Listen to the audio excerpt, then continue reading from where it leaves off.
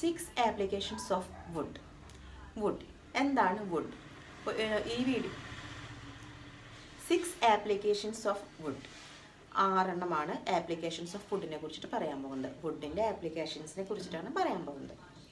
വുഡിനെ കുറിച്ചിട്ട് ഓരോന്നോരോന്നെടുത്ത് പറയാമെന്നുണ്ടെങ്കിൽ ഒരിക്കലും പറഞ്ഞു കഴിയാത്തൊരു കാര്യമാണ് വുഡ് എന്നൊരു കാര്യം. കാരണം ഡെയിലി നമ്മൾ സംസാരിക്കുമ്പോൾ വുഡ് എന്നുള്ളൊരു കാര്യം എപ്പോഴും വരും. അപ്പോൾ അതിനെ ഒന്ന് ക്രോഡീകരിച്ചുകൊണ്ട് എന്തൊക്കെയാണ് സിക്സ് ആപ്ലിക്കേഷൻസ് ഓഫ് വുഡ് എന്ന് നമുക്ക് നോക്കാം. ആദ്യം തന്നെ ഒരു ഫ്രേസ് ആയിട്ട് യൂസ് ചെയ്യുമ്പോൾ ഒരു എക്സാമ്പിൾ പറയാം. I would like to inform you I would like to I would like to ഞാൻ ആഗ്രഹിക്കുന്നു ടു ഇൻഫോം യു നിന്നെ അറിയിക്കാനായിട്ട് ഞാൻ ആഗ്രഹിക്കുന്നു. ഇവിടെ എന്താണ്? ഫ്രേസ് ആയിട്ടാണ് നമ്മളിവിടെ വുഡിനെ യൂസ് ചെയ്തിരിക്കുന്നത്. രണ്ടാമത്തെ ആപ്ലിക്കേഷനാണ് if I were a bird I would fly എന്താണ്? ഒരു കണ്ടീഷണൽ ആണ്. എന്താണ്? ഞാൻ ഒരു ബേഡ് ആയിരുന്നു എങ്കിൽ ഞാൻ പറന്നേനെ. ഐ വുഡ് ഫ്ലൈ എന്ന് വെച്ചിട്ടുണ്ടെങ്കിൽ പറന്നേനെ. ഒരു കണ്ടീഷനാണ് പറയുന്നത്. എന്താണ്? ഈ- കണ്ടീഷൻസിന് ഒരുപാട് എക്സാമ്പിൾസ് ഉണ്ട്. ഞാൻ ഒരൊറ്റ എക്സാമ്പിളാണ് പറയാൻ ഉദ്ദേശിക്കുന്നത് ഇംഗ്ലീഷിൽ മലയാളത്തിൽ ഒട്ട് പറയുകയാണെങ്കിൽ കുറേ ഉണ്ട്. ഞാൻ എനിക്ക് ഹിന്ദി അറിഞ്ഞിരുന്നുവെങ്കിൽ ഞാൻ ഹിന്ദി പറഞ്ഞേനെ. എനിക്ക് അറിയില്ല ഹിന്ദി പറയാൻ. ഇതൊക്കെ എന്താണ്? ഒരു കണ്ടീഷണലാണ് അപ്പോൾ എന്താണ്? ഫസ്റ്റ് വൺ ഫ്രേസ് ആയിട്ടും രണ്ടാമത്തത് കണ്ടീഷണൽ ആയിട്ടും. നെക്സ്റ്റ് മൂന്നാമത്തെ ആപ്ലിക്കേഷനാണ് ഹൈപ്പോത്തറ്റിക്കലായിട്ട് I wish I were a bird ഞാൻ ആഗ്രഹിക്കുന്നു ഞാനൊരു പക്ഷിയായിരുന്നു എങ്കിൽ എന്ന്. അത് ആ ഒരു സെന്റൻസും നമ്മൾ നമ്മുടെ ചിന്താഗതി മനസ്സിലായല്ലോ. അതായത് ഞാൻ ആഗ്രഹിക്കുകയാണ് ഞാനൊരു പക്ഷിയായിരുന്നു എങ്കിൽ. അതാണ് ഹൈപ്പോത്തറ്റിക്കൽ ഹൈപ്പോത്തറ്റിക്കൽ എന്ന് വെച്ചിട്ടുണ്ടെങ്കിൽ ഒരു കണ്ടീഷൻ ഇപ്പോൾ നമ്മൾ സയൻസ് ഒക്കെ എടുത്ത് പഠിച്ചവർക്ക് അറിയാം ഹൈപ്പോത്തി ഹൈപ്പോത്തറ്റിക്കൽ എന്നതിന്റെ അർത്ഥം. അതായത് ഒരു കണ്ടീഷൻ ഒരു ഒരു അവസ്ഥ.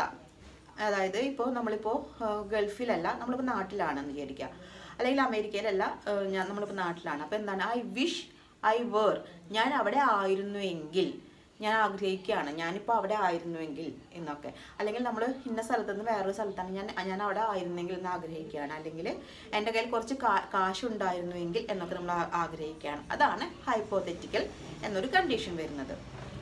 He told me that he would come അവൻ പറഞ്ഞു അവൻ വരുമെന്ന്. അതായത് ഒരാൾ പറഞ്ഞ കാര്യം എടുത്ത് രണ്ടാമതാണ് പറയുന്നത്. അതെങ്ങനെ നമുക്ക് മനസ്സിലാവുന്നത്? He told me that that എന്ന് വന്നു. അതായത് റിപ്പോർട്ടർ സ്പീച്ചും നമുക്കറിയാം. അത് റിപ്പോർട്ടർ സ്പീച്ചിനെ കുറിച്ച് ഞാൻ വീഡിയോ ഇട്ടിട്ടില്ല. എങ്കിലും ഞാൻ പറയാണ് നമ്മൾ ഡയറക്റ്റ് സ്പീച്ചും റിപ്പോർട്ടർ സ്പീച്ചും ഉണ്ട്. അതായത് ഒരാളൊരു കാര്യം എന്റെ അടുത്ത് പറഞ്ഞ കാര്യം നമ്മൾ നെക്സ്റ്റ് ഒരാളുടെ അടുത്ത് പറയുമ്പോൾ ഇൻഡയറക്റ്റ് ആയിട്ട് പറയുമ്പോൾ അതിനെയാണ് നമ്മൾ ഇൻഡയറക്റ്റ് സ്പീച്ച് എന്ന് പറയുന്നത്. അപ്പോൾ എന്താണ്? He told me that he would come അതായത് അവൻ വരാമെന്ന് പറഞ്ഞു. ഇൻഡയറക്റ്റ് സ്പീ സ്പീച്ചിൽ നമ്മൾ എന്ത് പറയും? വുഡ് എന്ന് ഉള്ള യൂസേജ് അവിടെ വരും. അതിന് കാരണം എന്താണെന്ന് വെച്ചിട്ടുണ്ടെങ്കിൽ ഒരാൾ നമ്മുടെ അടുത്ത് പറയാണ് ഹി വിൽ കം അല്ലെങ്കിൽ ഐ വിൽ കം എന്ന് പറയാണ് ഒരാൾ നമ്മുടെ അടുത്ത്. അപ്പോൾ ആ ആൾ ആ സമയത്താണ് പറഞ്ഞിരിക്കുന്നത് ഐ വിൽ കം എന്ന് അല്ലേ? അത് നമ്മൾ മറ്റൊരാളുടെ അടുത്ത് പറയുമ്പോൾ അത് പാസ്റ്റ് ആയിട്ടുള്ളൊരു കാര്യമാണ്. അപ്പോൾ ഐ വിൽ കം എന്നുള്ളത് എന്തായി? ഹി ഹി അവൻ അവൻ പറഞ്ഞു അവൻ വരുമെന്ന് അല്ലേ? He told me that he would come will എന്ത് ആയി മാറി? പാസ്റ്റ് എന്തുകൊണ്ടാണ് ആയി മാറിയത്? നമ്മൾ ആ പറഞ്ഞ കാര്യം പഴയ കാര്യമാണ് ഇപ്പോൾ എങ്കിലും പഴയ കാര്യമാണെങ്കിലും അത് അതിന്റെ ടെൻസ് മാറുന്നില്ല.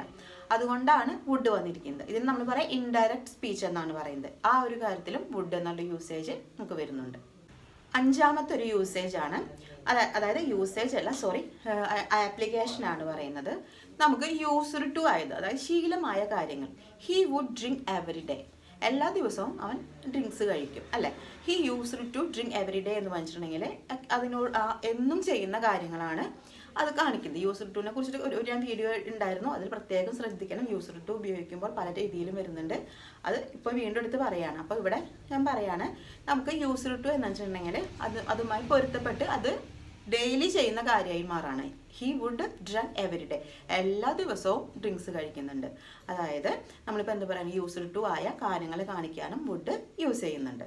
ആറാമത്തെ അപ്ലിക്കേഷൻ അത് നമുക്ക് ഇതൊക്കെ ഈ അഞ്ചെണ്ണം കേട്ട് കഴിഞ്ഞപ്പോൾ മനസ്സിലായിട്ടുണ്ടാവും. നമ്മൾ പൊളൈറ്റായിട്ട് കാര്യങ്ങൾ ചോദിക്കുമ്പോൾ നമ്മളെപ്പോഴും വുഡ് ചോദിക്കാറുണ്ട്. അല്ലേ? Would you please give me a pen അല്ലേ? Would you please give me a give me your umbrella നിങ്ങളുടെ അംബ്രല്ല ഒന്ന് യൂസ് ചെയ്യാനായിട്ട് തരുമോ? അതൊക്കെ നമ്മൾ പൊളൈറ്റായിട്ട് ചോദിക്കുമ്പോൾ അപ്പോൾ എന്താണ്? പൊളൈറ്റ്നെസ് എന്നുള്ള കാര്യത്തിനും നമ്മൾ വുഡ് യൂസ് ചെയ്യാറുണ്ട്.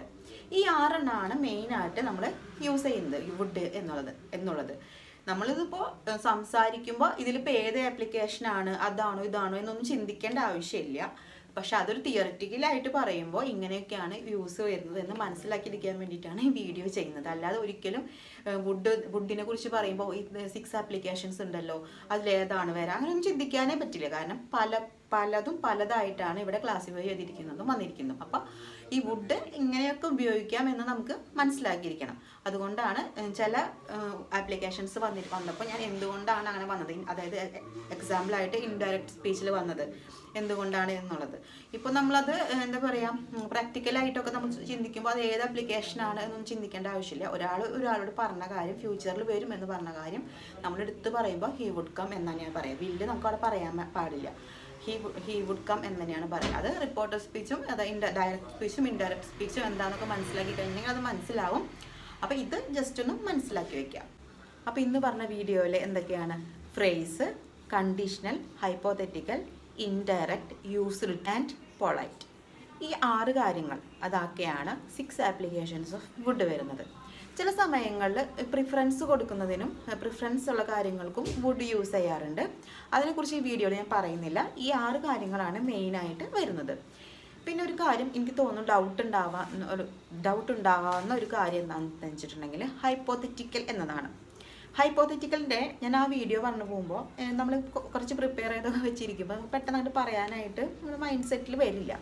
അപ്പോൾ ഹൈപ്പോത്തറ്റിക്കൽ എന്നതിന്റെ കറക്റ്റായ അർത്ഥം എന്താണെന്ന് വെച്ചിട്ടുണ്ടെങ്കിൽ ഞാൻ പറയുന്നു സയൻസ് ഗ്രൂപ്പ് എടുത്തവർക്ക് അത് മനസ്സിലാവുമെന്ന് എന്തുകൊണ്ടാണ് അതങ്ങനെ പറഞ്ഞതെന്ന് വെച്ചിട്ടുണ്ടെങ്കിൽ പലപ്പോഴും നമ്മൾ സയൻസ് സയന്റിഫിക്കലൊക്കെ ആയിട്ട് ഒരു എക്സ്പെരിമെന്റ് ഒക്കെ നടക്കുമ്പോൾ ഹൈപ്പോത്തറ്റിക് എന്നാണ് പറയുക. എന്തിനെയാണ് അത് പറയാന്ന് വെച്ചിട്ടുണ്ടെങ്കിൽ ഒരു ഊഹിച്ചിട്ട് ഒരു കാര്യത്തെ നമ്മൾ മനസ്സിൽ ഇങ്ങനെ ഊഹിച്ച് ഊഹിച്ചിങ്ങനെ വെക്കുന്നതിനെയാണ് ഹൈപ്പോത്തറ്റിക്കലി എന്ന് പറയുന്നത്.